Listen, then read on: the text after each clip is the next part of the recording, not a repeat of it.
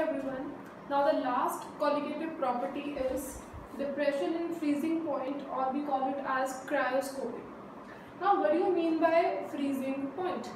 Freezing point is that temperature at which solid and liquid forms of the substance of the substance comes in equilibrium comes in equilibrium or we can say that at the, this temperature the vapor pressure of solid and liquid becomes equal. So now if you compare the freezing point of solution which contains solute as well as solvent and the pure solvent which contains only solvent particles. So now we can see that the solution which contains solute as well as solvent will have less vapor pressure as compared to the solvent. So if vapor pressure is lower, so its freezing point will come earlier. So less is the vapor pressure, less is the temperature. So it means there is a depression in freezing point for the solution because it contains solute as well as solvent and its vapor pressure is lower so its freezing point will come at the early stage at, as compared to the solvent. Let's see with the help of graph.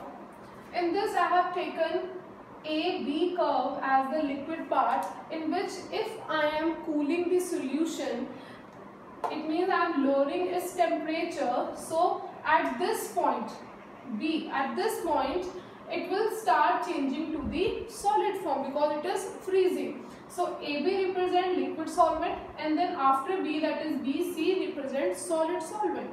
Now at any temperature at any concentration the vapor pressure of solution will always be lower than that of the solvent. So it represents by the curve now as I stated earlier that B is the point at which the solid starts forming it means B is the point at which vapor pressure becomes equal to the atmospheric pressure. So from here you get the freezing point of the pure solvent and after that we see the curve for solution at this point it will change to the solid and comes out to be TF that is freezing point of the solution. So depression in freezing point that is delta TF is will be equal to TF naught minus TF and its expression is delta TF is equal to KF into M where KF is molar depression constant molar depression constant or cryoscopic constant cryoscopic constant. Now with the help of this formula we can determine the molar mass of the solute. Now we'll put the value of molarity in this formula and we'll get given mass of the solute upon molar mass into given mass of the solvent into 1000. So this is how you will calculate the molar mass of the solute by using the formula for depression in freezing point. Now how can you say that the depression in freezing point is a colligative property? We can see from here that delta TF comes out to be proportional to number of moles of solute. So hence it is a colligative property. The applications of depression in freezing point or importance of depression in freezing point that where we can use this up use this property.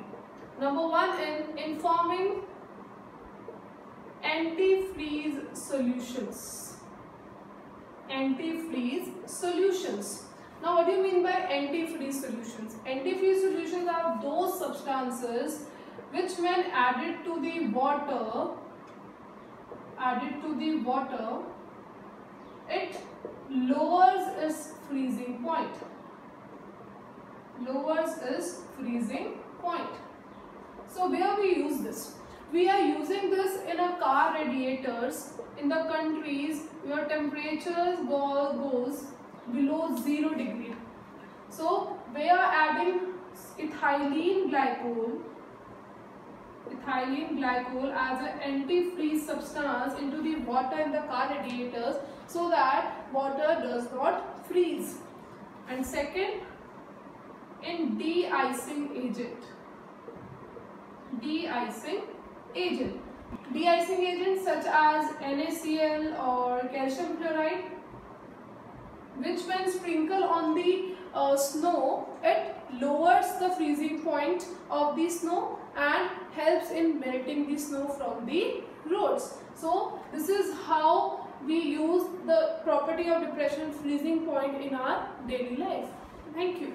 Now let's see the numerical related to the depression in freezing point. Now the question is 1 gram of non-electrolyte solute.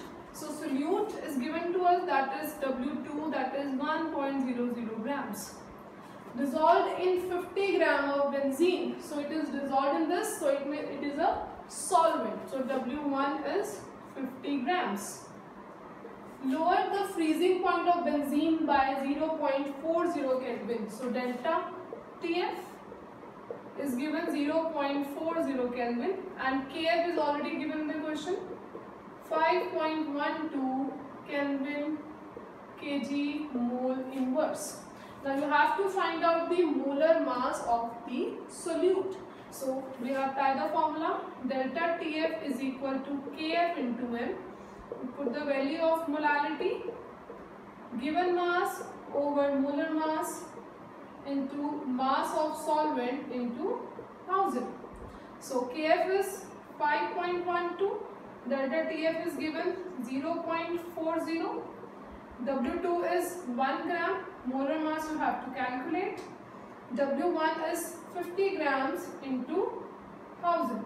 So after solving this, you will get here the molar mass of the solute. So this is how you use the formula of depression freezing point in the given numericals.